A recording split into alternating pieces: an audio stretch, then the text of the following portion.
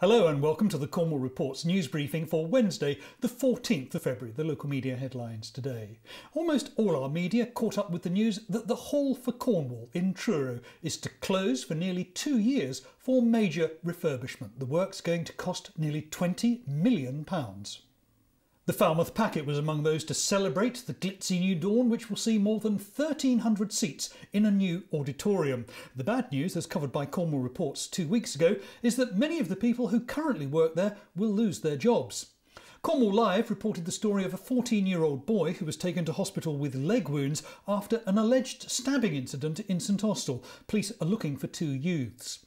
BBC Cornwall had news of a husky dog which was hit and then dragged by a hit and run van driver in Newquay. The animal was badly injured. The Cornish and Devon Post helped celebrate the success of the Arundel Arms at Lifton, which has got its AA rating improved from three stars to three silver stars. And finally, the Cornish Times told us how great minds think alike, especially in Pantoland in places like Down Downderry and Polbathic, for the second year running, and apparently entirely by accident, the neighbouring villages have chosen to do the same panto. Last year Cinderella, this year Robin Hood. And that's what's making the news in our local media today. Thank you very much for watching. Do please share this on social media. I'll be back again tomorrow. See you then. Bye bye.